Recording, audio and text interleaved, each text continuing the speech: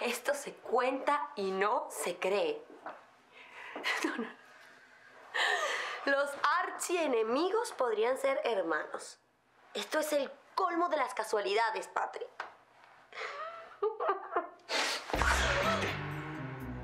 No seas estúpida. Tengo que averiguar si Mercedes es mi madre. Esa mujer y yo nos hemos enfrentado con mucha fuerza. Si resultáramos madre e hijo, será muy difícil para ambos. Bueno, y, y, y si resulta que, que de verdad tú eres el hijo perdido de esa maestra y el hermanito mayor de Luis Mario, ¿qué vas a hacer, Patri? ¿Qué quieres decir?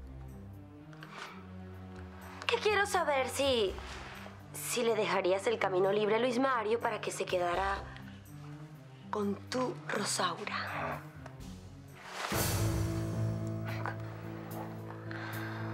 Rosaura es y será mía. Por encima de todo y de todos.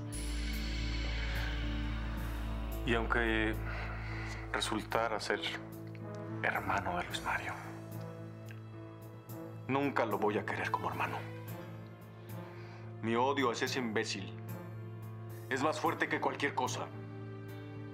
Nada va a impedir que ese odio siga intacto.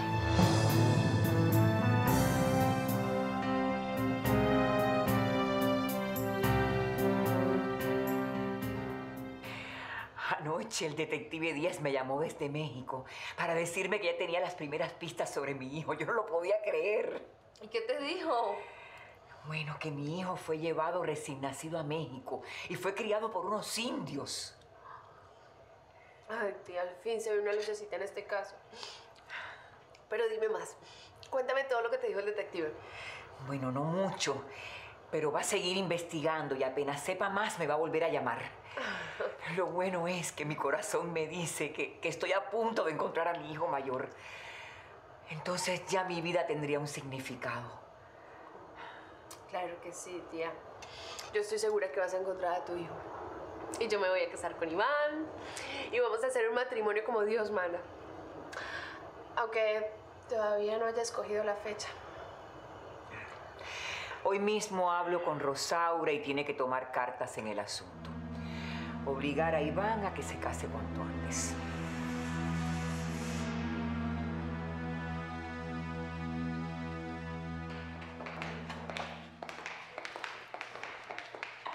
¿Van a salir? Sí, abuelita. Tengo que ir al hospital a buscar los resultados de los exámenes. Los que me hice para saber si puedo ser la donante que Karina necesita. Ojalá, mi amor, ojalá que tú puedas ser la donante. Bueno, vámonos que se nos hace tarde. Bueno. Adiós, mi amor. Adiós. Dios te bendiga.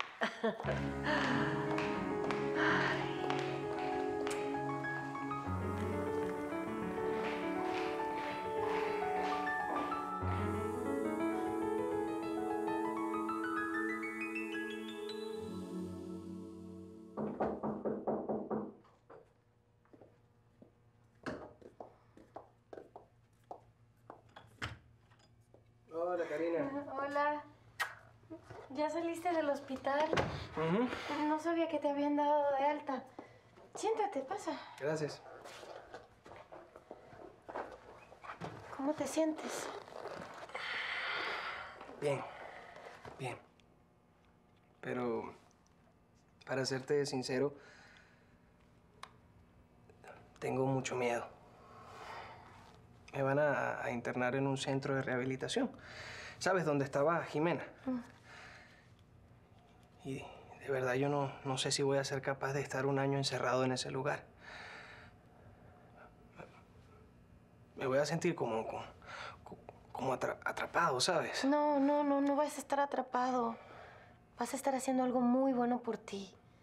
Piensa que es por tu bien, para que te cures de tu adicción a las drogas y puedas ser libre. Atrapada estoy yo, Emanuel. Atrapada en una enfermedad que me va a conducir a la muerte. Yo lo sé. Iván me lo contó. Y bueno, créeme de verdad que, que lo siento mucho. Pero tienes que ser fuerte, no te me puedes dejar vencer así tan fácil. Además que no todo está perdido. Tú sabes que, que con el trasplante de la médula ósea se puede salvar tu vida. He tenido mala suerte con los donantes.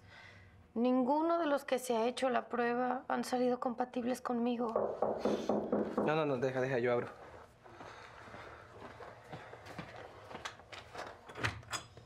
¡Eva! ¡Qué bueno que ya saliste del hospital! ¡Qué gusto me da verte! Igual, igual, mucho gusto en verte. ¿Y qué? ¿Viniste a visitar a Karina?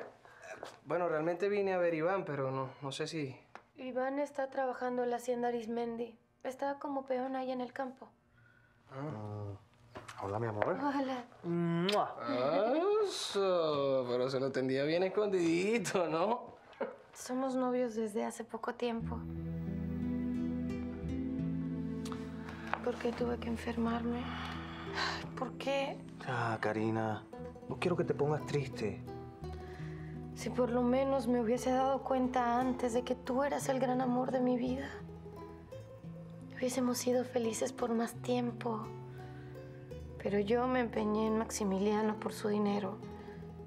Y ahora que puedo ser realmente feliz, estoy enferma. Muy enferma.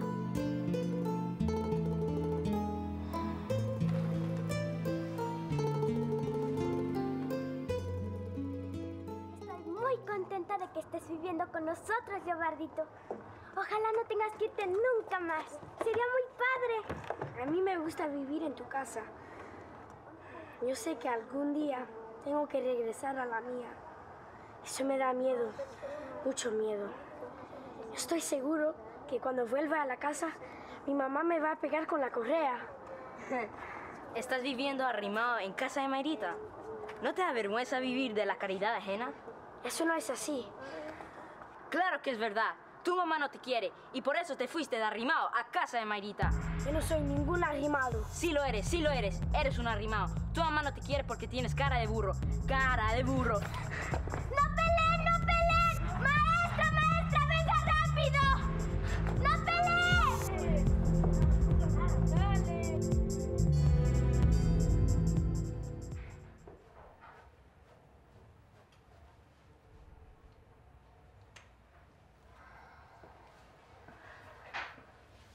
pensando, señora Camelia?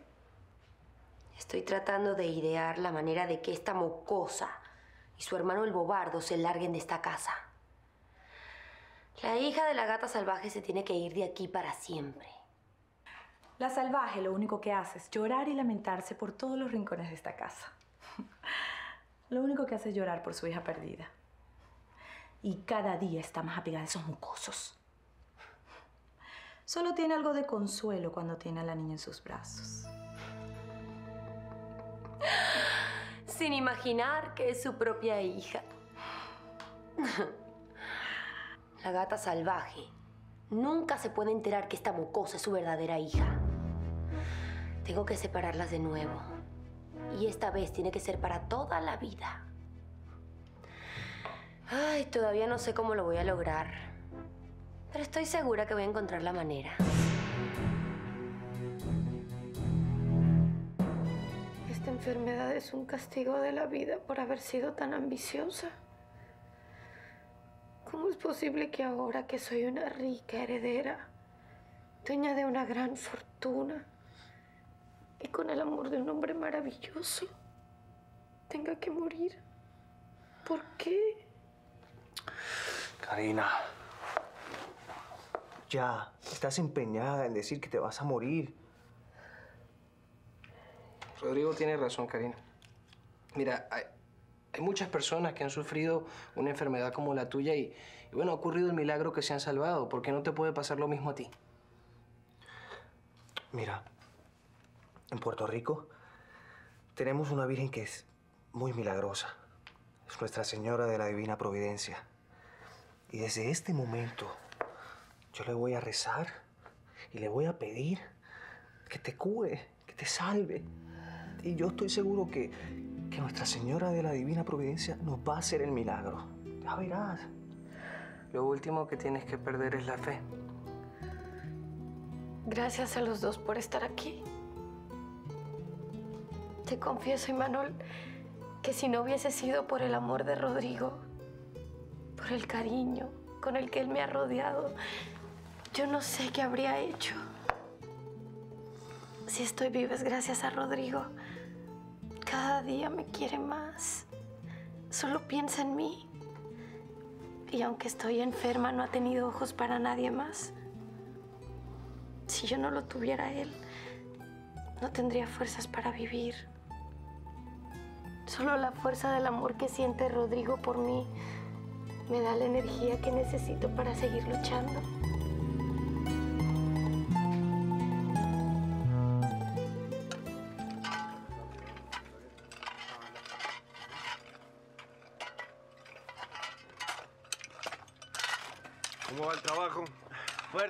Vamos.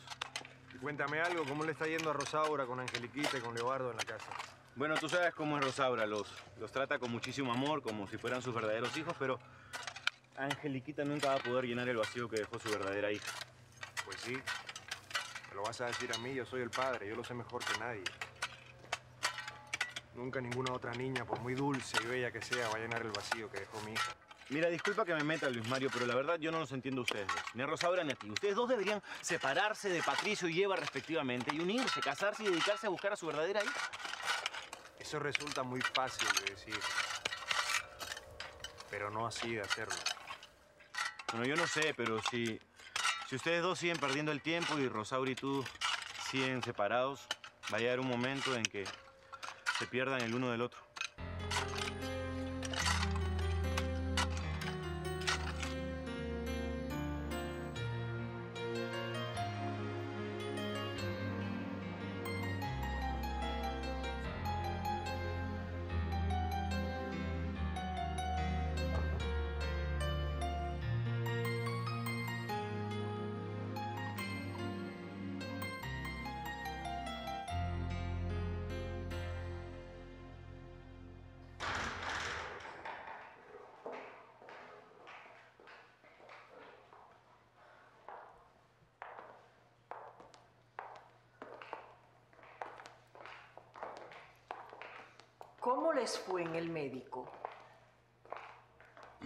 Que usted puede ser la donante que la señorita Karina necesita para salvar su vida?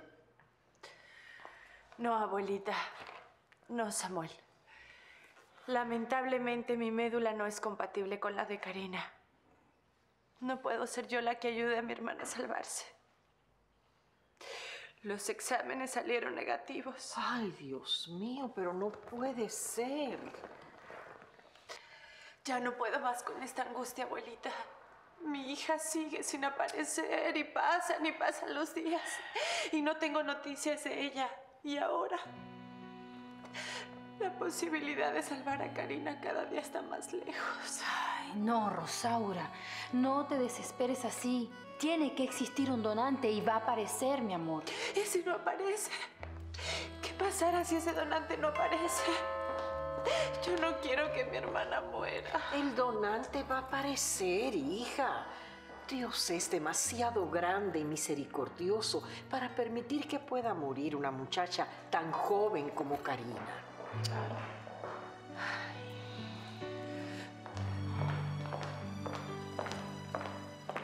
Buenos días, buenos días, ¿cómo Buenos están, días. doña Cruz? Ay, Rosaura, ¿por qué lloras, hija? ¿Recibiste alguna mala noticia sobre tu hijita? No, no son malas noticias sobre mi hija. Sigue sin aparecer y eso me destroza. Pero ahora estaba llorando por mi hermana Karina. Mi médula no es compatible con la de ella, Mercedes. No puedo ser el donante que ella necesita. Ay, hija, cuánto lo siento. Yo me imagino cómo te debes sentir. Y para colmo vengo yo ahora a hablarte de más problemas. Mejor, mejor no te digo nada por ahora. No importa, Mercedes. Diga lo que sea. Bueno, se trata de mi sobrina Adianita, que como sabes está embarazada de, de tu hermano Iván. Rosaura, vengo a pedirte que por favor hables con Iván y le exijas que se case con Adriana cuanto antes.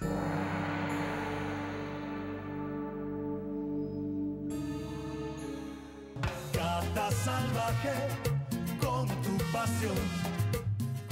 Tienes que hacer algo, Rosaura. Tienes que lograr que Iván se case con Adrianita antes de que se le empiece a notar el embarazo. Pero Mercedes, es que un embarazo no se empieza a notar desde el primer momento. No, yo no quiero decir que los muchachos no se tengan que casar, no. Se tienen que casar. Pero ¿por qué esa carrera? Bueno, porque yo soy la responsable de Adrianita y quiero que esté casada antes de darle la noticia a sus padres que viven en Los Ángeles de que está embarazada. Y bueno, yo lo que temo es que Iván no quiera cumplirle a Adriana por estar enamorado de Jimena. Y, y, y bueno, si fue hombre para embarazarla, que sea hombre para cumplirle. Tienes razón, Mercedes. Voy a hablar con Iván para que. para que tomemos una decisión definitiva. Le ruego que me disculpe, pero prefiero ir a mi habitación. Voy contigo, mi amor. Con permiso. Con permiso.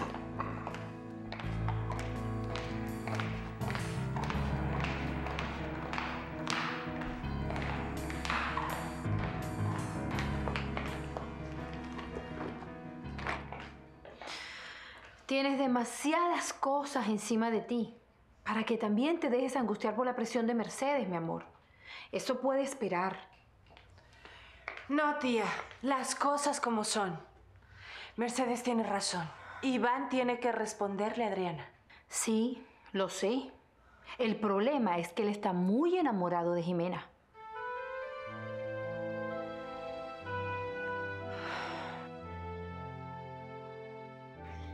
Me imagino que te debe extrañar mucho mi visita, Jimena. Vengo porque, bueno, porque en estos momentos mi tía Mercedes debe estar hablando con Rosaura para que le exija a Iván que se case conmigo lo más pronto posible. Me parece lógico. Lo que no entiendo es por qué tienes que venir a decírmelo a mí. A mí que hace tiempo que salí de la vida del pollo... de Iván. Bueno, pues porque quizás vine a estar segura de eso, de que realmente estás fuera de la vida de Iván. Mira, Jimena, lo único que yo quiero es tener a mi lado al padre de mi hijo. Puedes estar tranquila. Así va a ser. Ay, Jimena, mira, yo no soy quien para, para meterme en tu vida. Pero a mí me gustaría saber si realmente te vas a casar con tu novio. Claro que me voy a casar. Y para que no tengas dudas, te diré que, que ya Guillermo me regaló el vestido de novia. Te deseo mucha, mucha felicidad, Jimena. Y de corazón te deseo que seas muy feliz con Guillermo. Adiós.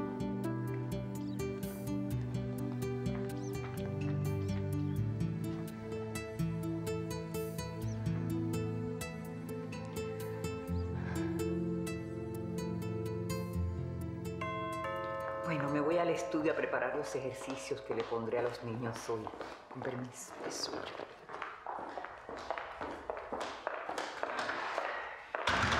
Pero por el amor de Dios, ¿qué pasó, Leonardito? Vienes todo golpeado, con la ropa destrozada. ¿Qué ocurrió, hijo mío? ¿Qué pasó? Ay, Virgencita, ¿pero qué te pasó, niño? Dime enseguida qué te pasó. No fue su culpa. Lo que pasó es que se tuvo que dar unos buenos golpes con un niño muy malo y muy sangrón que le dijo un poco de majaderías. Eso está muy mal, Leobardito. Aunque ese niño te haya dicho alguna cosa pesada, al colegio no se va a pelear. Además, es muy feo que dos amiguitos se peleen. Yo no soy ningún amigo de ese niño tan feo y tan malo. Además, pregúntale a Mayrita. Yo no fui el que empezó la pelea. Pero has podido acusarlo con la maestra y decirle lo que estaba pasando y no agarrarte a golpes con él. Yo no soy ningún chismoso para acusar a nadie.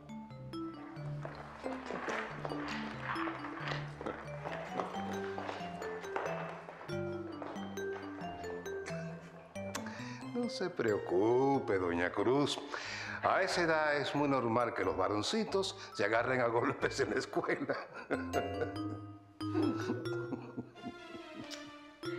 ¿Cómo le digo a Karina que mi médula no es compatible con la suya? Ella estaba tan ilusionada.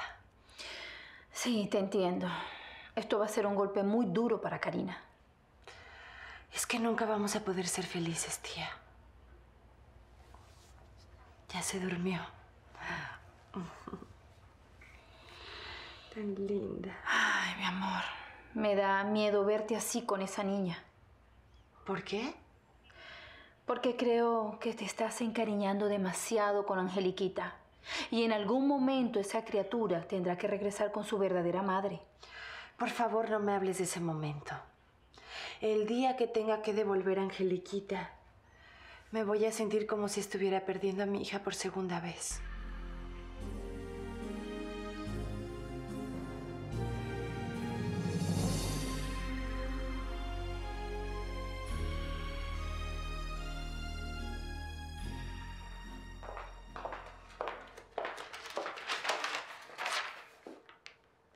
Siento, no sabía que estaba usted aquí. Me iré a otro lugar para preparar los ejercicios que les voy a poner a los niños. Espere, por favor. No se vaya. Hay algo que quiero preguntarle. ¿Y eso qué será? Quisiera que me contara sobre su hijo. Anoche no pude evitar oír su conversación. ¿Cómo fue eso que perdió a un hijo? No entiendo por qué a usted le puede interesar esa historia. Bueno, digamos que es un poco de curiosidad. Hasta donde yo sabía, usted estaba buscando a Luis Mario y lo encontró. Yo no vine buscando solamente a Luis Mario. Yo vine a buscar a mis dos hijos. Afortunadamente a Luis Mario lo conseguí casi inmediatamente. Pero del otro todavía no sé nada. Aunque gracias a Dios ya hay una pista. Estoy viendo una pequeña luz sobre el paradero de mi hijo. ¿Por qué no se sienta y me cuenta toda la historia de su hijo? De ese hijo, el mayor.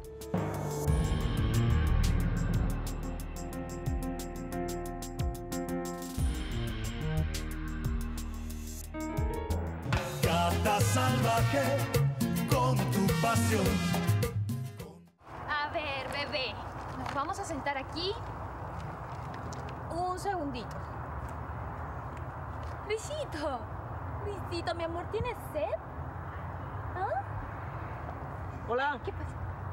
Hola. Me imaginé que te iba a encontrar aquí. Me imaginé porque, bueno, porque este es el parque más cercano al departamento de mi hermano Gabriel. ¿Y por qué estás buscándome? Porque tenía muchas ganas de hablar contigo, Minerva. De. De intrometerme un poquito en tu vida, si me lo permites, claro. Bueno, por mí me puedes decir lo que quieras, Guillermo. Mira, yo no quiero que me vayas a malinterpretar. Yo estoy haciendo esto porque sé que mi hermano Gabriel está muy enamorado de ti. Y la felicidad de mi hermano me importa mucho. Gabriel me ha confesado el gran amor que siente por ti, Minerva. Y desde que tú eres la niñera de Luisito, él no se cansa de comentarme de cómo lo cuidas, cómo lo atiendes, que te desvives por él. Es que la verdad es que ya lo quiero como si fuera mi propio hijo. El hijo que quizás nunca llegue a tener.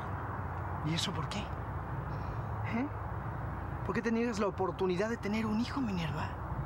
Tú eres muy joven, por Dios. Bueno, sí, pero tú sabes que yo soy viuda. Eso no quiere decir absolutamente nada. Tú eres muy joven. ¿Verdad, chiquitito? Me puedes amar de nuevo. Además, ahí está mi hermano. Muy enamorado. Solamente está esperando a que tú le correspondas para hacerte muy feliz. Guillermo, yo no quiero olvidar a mi esposo Maximiliano. El recuerdo de tu esposo se va a ir alejando poco a poco. Y tú debes comenzar a buscar de nuevo la felicidad, Minerva. Puedo, no puedo. ¿No te das cuenta que no me siento en capacidad de volver a amar? No digas eso. Mira, gracias a Dios eso es algo que siempre podemos hacer los seres humanos. Siempre. Amar una y otra vez, una y otra vez. Si no, imagínate, qué triste sería, ¿no? ¿O tú qué piensas, chamaco? ¿Qué piensas? Tú no puedes renunciar a las cosas tan bellas que te ofrece el amor. Y mi hermano Gabriel te está ofreciendo el más hermoso de todos los amores. Créeme.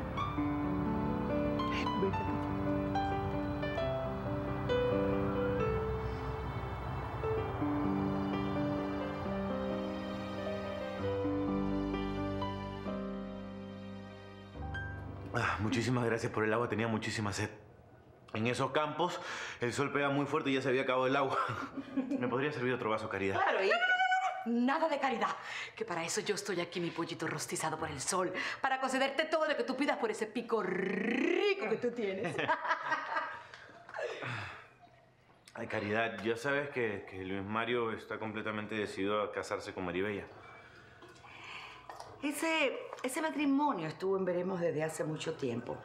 Pero como finalmente la señora Eva se decidió a firmar el divorcio, ahora sí es un hecho que el joven Luis Mario se casará con la señora Maribella, apenas quede libre. Ay, pobrecita, mi señora, la gatúbela salvaje se va a convertir en la gatúbela desconsolada cuando se entere de que el amor de su vida se va a casar con mi señora la Pocaluz, Fuchi. Mm. Bueno, ya me voy. Le pedí permiso a Luis Mario para salir más temprano. Iré a ver a Rosaura para que me cuente si es que puede ser o no la, la donante que Karina necesita. Bueno, nos vemos. Hijo, ya verás que Rosaura sí va a servir como donante. Ojalá. Adiós, pollito rico, cosa rica, cuídate, ¿ok? Que papachongos como tú ya no quedan en este mundo. Bye. Ay, caridad. Es que por ese pollo yo soy capaz de convertirme en una gallina piroca, mi amor.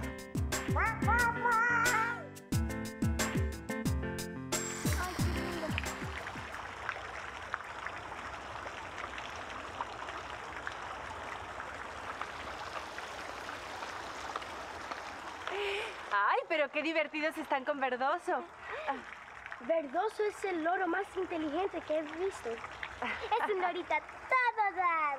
Leobardito, mi abuela me contó que te peleaste en el colegio con unos amigos. Y debe ser cierto, porque mira nada más cómo traes la ropa y la carita. Un niño malo me dijo cosas feas. Y le tuve que dar unos puños. Leobardito, aunque a mí me llaman gata salvaje porque siempre me peleaba con todo el mundo, reconozco que eso no está bien hacerlo, mi amor. Las peleas hay que evitarlas porque son muy feas. Te prometo no pelearme más. Así me gusta. Mm. Ahora vete a tomar un baño y te cambias de ropa. Ya la maestra Mercedes los espera a ti y a Mayrita para darle sus clases. Yo no soy un niño malo. Solamente me defendí. Claro que no eres un niño malo, mi amor, yo lo sé. Ningún niño del mundo es malo, y menos tú, que junto a tu hermanita Angeliquita y Mayrita han traído un poco de luz a mi vida triste.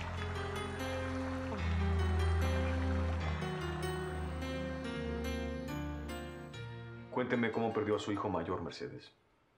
Yo no tengo por qué contarle nada, señor Rivera. Ese es un pasaje privado de mi vida que me niego a compartir con usted. Para mí es importante saberlo. Es muy importante conocer esa historia. La verdad es que no entiendo por qué es tan importante para usted conocer esa parte de mi vida. Pero siento mucho no poder complacerlo porque no pienso decirle nada. ¡No soy el dueño de esta casa! Usted será el dueño de esta casa, pero usted no es el dueño de mi vida. Y yo no estoy obligada a contarle a usted absolutamente nada ni a compartir con usted ningún secreto. Así que ahora, por favor, con su permiso, me voy a buscar otro lugar de la casa donde yo pueda dar las clases a los niños. Buenos días.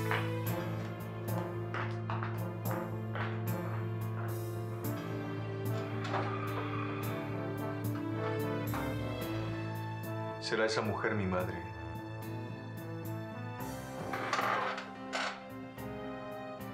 ¿Será la madre que nunca conocí?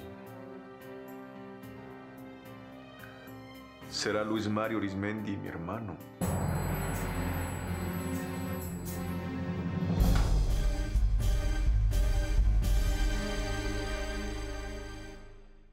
Gata salvaje con tu pasión. Ay, No puedo creerlo, Eduarda. Estoy tan llena de planes para mi matrimonio con Luis Mario. Me encanta verte contenta y optimista. Dime, ¿cuándo crees que Eva Granados firmará el divorcio? Pues no sé, tendrá que hacerlo de un momento a otro. ¿Qué haces tú dentro de la casa marginal? Los campesinos no tienen por qué estar en la sala, y tú menos que nadie. Eres un delincuente y te puedes robar algo. Yo no soy ningún delincuente y tampoco me voy a robar nada, señora. Pero ahórrate tus explicaciones y sal de aquí. Espera. Quiero enviarle un mensaje a tu hermana la salvaje a través de ti. Dile que Eva Granados ya se decidió a firmar el divorcio. Y apenas Luis Mario quede libre, se va a casar con Maribella. Yo no le voy a decir nada. No seas igualado. Cumple con lo que te estoy ordenando. Dale la noticia. Yo no le voy a decir nada y punto, señora. Cero muerto de hambre. Desaparécete de mi presencia. Eduarda. Ah, Tienes toda la razón. Sí, tenemos que buscar la manera que la gata salvaje se entere de mi próximo matrimonio con Luis Mario. No te preocupes. Ya buscaremos la manera.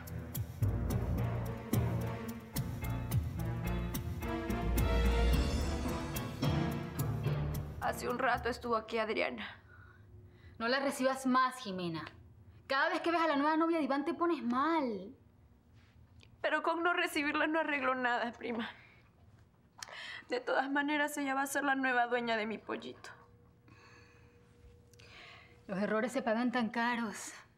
Fíjate, Iván embarazó a esa muchacha y ahora está pagando las consecuencias.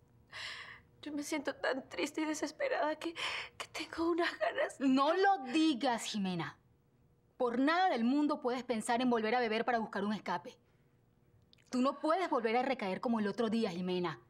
Eso te puede destruir. Jimena, tú tienes que tener muy claro que tu peor enemigo es el alcohol. Es que yo quiero tanto al pollito, prima. Ahora que quedó atrás todo el dolor de la muerte de nuestro hijo, pudimos habernos reconciliado, empezar de cero, llegar a ser felices. Pero entre nosotros interpone Adrián en su embarazo. Y también se interpone mi palabra de matrimonio con Guillermo. Ya, Jimena. No te pongas así, por favor. No me gusta verte llorar, no me gusta verte sufrir. Quisiera morirme, prima. No. Morirme para no sentir este dolor tan grande.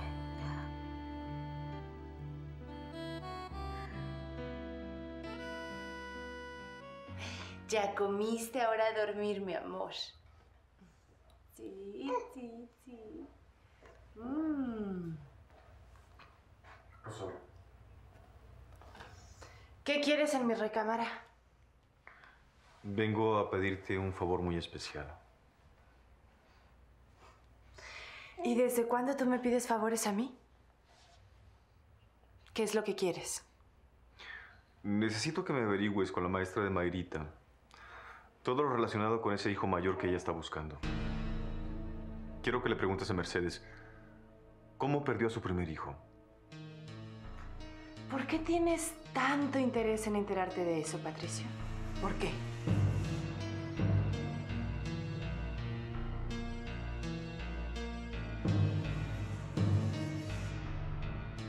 Ay, ya, Jimena, no te pongas así. Mira, me voy a meter de cabeza en la cocina y te voy a preparar algo bien rico para el almuerzo. Ya tú vas a ver que te vas a chupar los dedos. Yo voy. Ok.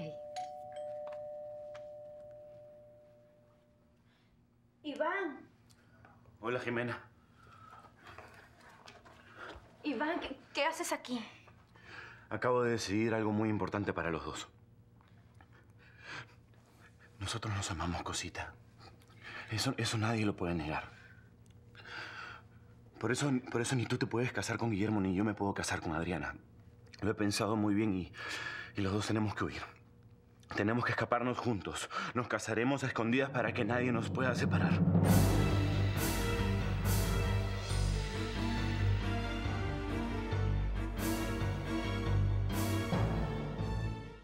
Gata salvaje con tu pasión. Escapémonos juntos para casarnos, Jimena. Nos desaparecemos, nos casamos y cuando volvamos a aparecer, mira, ya nos habremos casado y nadie nos podrá obligar ni a mí a casarme con Adriana ni a ti con Guillermo. Pero, pero lo que me estás proponiendo es una locura, No, Iván. mi amor, no, mi amor. Locura sería amarrar nuestras vidas a dos personas que no amamos como pareja. Pero tú tienes que cumplirle a Adriana. Ella va a darte un hijo. Pero yo no la amo. Siempre la vi como a una amiga, la muchacha llena de amor que me hacía reír con sus ocurrencias, pero nada más. No puedo casarme con ella porque no la amo. Y eso es definitivo. Ti- Tienes que pensar en el hijo que ella espera, Iván. Que también es tu hijo. Mira, de mi hijo, de mi hijo no me voy a desentender, tenlo por seguro. Le daré mi apellido, velaré por su bienestar, correré con todos los gastos que el niño necesite. Pero nada más. Nada de casarme con Adriana porque con quien quiero casarme es contigo.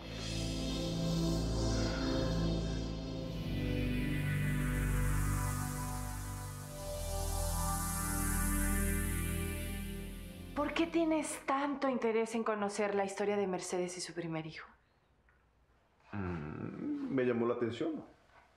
Esa mujer no solamente tuvo a Luis Mario, sino que tuvo un hijo antes.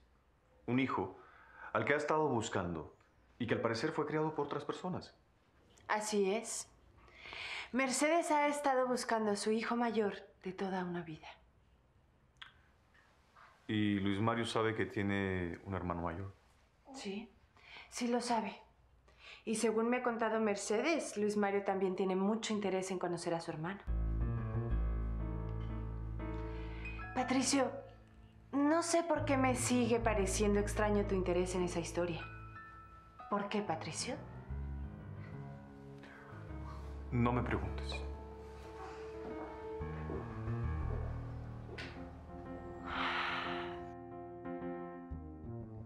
No, Iván. Con solo ocuparte y, y cubrir los gastos del bebé no es suficiente. Todo niño necesita la figura de sus padres. Una de las razones por las cuales yo fui tan infeliz fue por no haber tenido a mis padres. Ellos murieron y Eduarda nunca me dio amor. Siempre me despreció. En cambio, Luis Mario, él sí me quería. Pero siempre estaba muy ocupado en la hacienda. Después estuvo mucho más ocupado cuando se casó con Camelia. Solo pensaba en hacerla feliz y en satisfacer cada uno de sus caprichos. Tiempo más tarde, ella y Luis Mario sufrieron un percance en el cual a ella la dieron por muerta. Mi hermano se dedicó a buscarla durante dos años. Como ves, nunca nadie en la casa tuvo tiempo para dedicármelo a mí. Yo crecí añorando el cariño y las caricias de unos padres. Tú no puedes obligar a tu hijo a crecer sin ti, Iván. No puedes. Jimena. Jimena, yo no digo eso. Mira, Iván, tú, tú tienes que asumir que fue tu responsabilidad embarazar a Adriana. Fue un error, Jimena, fue un error. Un momento de pasión, pero sin amor. Mi amor es completamente tuyo. Adriana es buena, Iván. Y no merece que la abandones. Así como Guillermo no merece que yo le falle. Y por no fallar a los demás, nosotros vamos a tener que ser desdichados. No es justo, cosita, no es justo. Yo no quería tener un hijo con Adriana, ella debió cuidarse. Ese niño se está formando, Iván. Va a nacer. Y tienes que asumirlo. Eso quiere decir que... Eso quiere decir que tienes que casarte con Adriana. Quieras o no.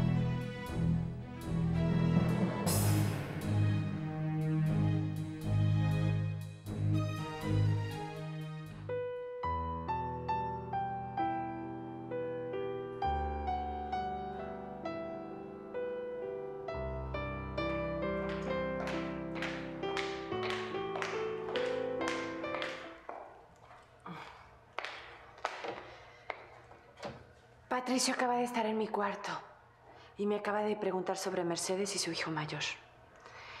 Ese hijo que ella no ha logrado encontrar.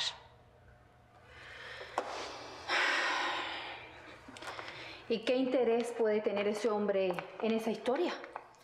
Ay, no lo sé, tía. Pero lo raro es que a él por lo general todo le da igual. Y que así como así se interese por eso. Algo se debe traer ese hombre entre manos. Porque si Patricio se interesa por algo, es porque ese algo le puede resultar beneficioso. Sí, y no puedo dejar de sentir miedo. Miedo que se repita la misma historia de Mercedes. Temo que pasen 20 o 30 años y yo no encuentre a mi hija. Ay, no, Rosaura. Eso no te puede pasar a ti. ¿Y por qué no, tía? Si le pasó a Mercedes, también podría sucederme a mí. No seas negativa, mi amor. Tu hija aparecerá.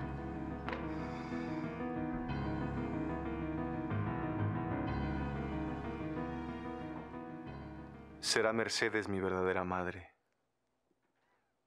El hijo de esa mujer se crió con un matrimonio de indios. Y yo también. Mis padres adoptivos eran unos indios. Dios mío. Seremos Luis Mario y yo hermanos.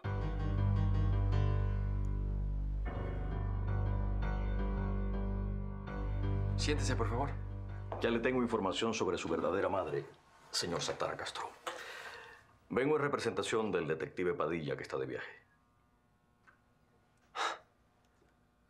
No, no puedo creerlo. Al fin voy a saber algo acerca de mi madre. Fue una labor ardua y nada fácil, pero al fin la investigación dio sus frutos. Veo.